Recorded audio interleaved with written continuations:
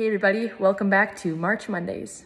This week is the week for a Russian march. So here is Vasily Agapkin's Farewell to Slavyanka.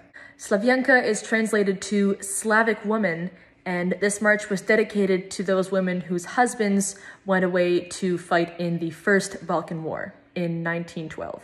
This is like super patriotic Russian march. It's so epic. We've got your heavy minor chords um, and repetitions of things that just, it doesn't get old and it's so awesome. This march was actually recommended in the comments uh, more than once, so I figured I'd do this one this week.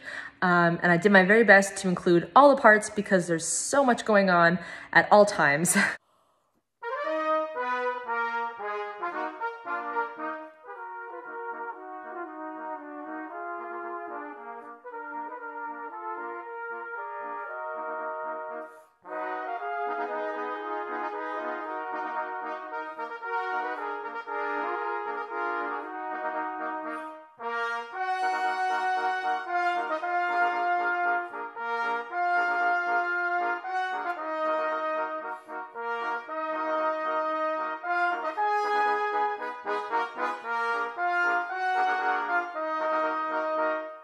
The way this is scored out is kind of cool too. There's two cornet parts and two trumpet parts, um, but they don't have as many fanfare sections as you may think. There's actually a few bit of fanfare sections in the woodwinds as well. Um, so it's cool to see how these different elements, different instrument groups are featured in ways that the other groups would be featured. I think it's very well done.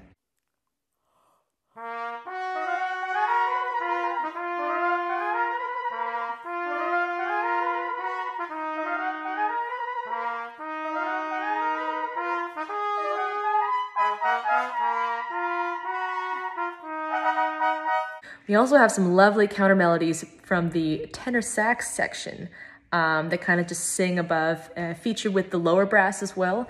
Um, but I kind of liked it how the tenor sax was featured more so than the euphonium in this case, which is kind of rare. And this time, the tenor sax is at the forefront. Looking at this march as well, um, it's not scored out. It doesn't look like most other marches too, where you have, you know, your sort of main body, the trio, and sometimes repeating back to the top again.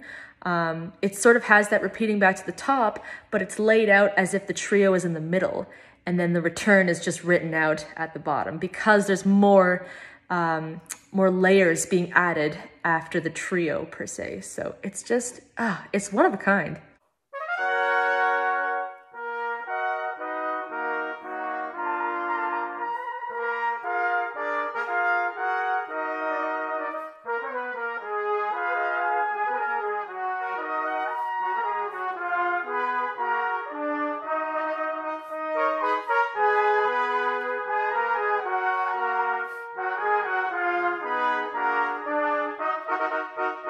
So the dynamics in this march are also pretty cool because they're kind of swapped.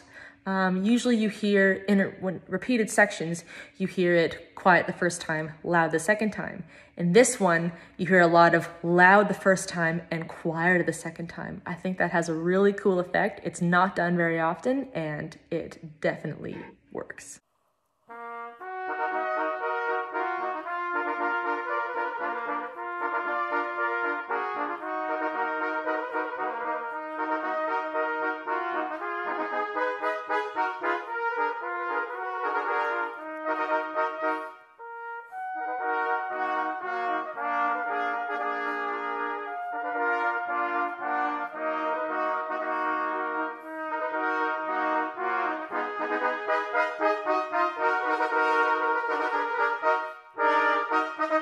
And there you have Farewell to Slavienka.